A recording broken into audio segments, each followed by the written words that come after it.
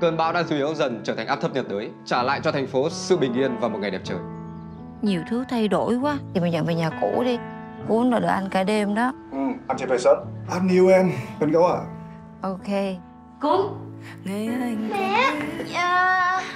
Nhà mới sao rồi em? Thì cũng rộng, cũng thoáng Chỉ có điều là Không có gì để lo hết. Khu này bây giờ rất là an toàn. Có anh đây rồi.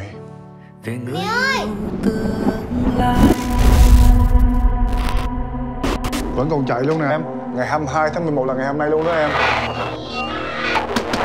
Cách đây 20 năm nè, nó bị xe đụng chết. Bữa đó ổng lỡ tay giết chết vợ ổng.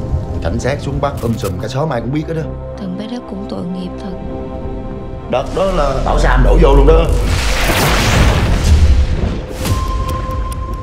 Dự kiến cơn bão số 0 mạnh bão trên chậm để đảm bảo cho sự an toàn. Ai vậy ta?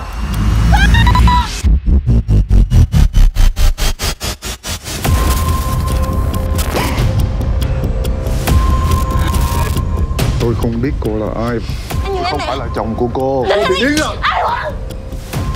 Bão tới rồi Bão sao nó sẽ phá hủy tất cả mọi thứ Từ trường khắp mọi nơi Sóng vô tiếng nó sẽ mất Mọi thứ sẽ nổ tung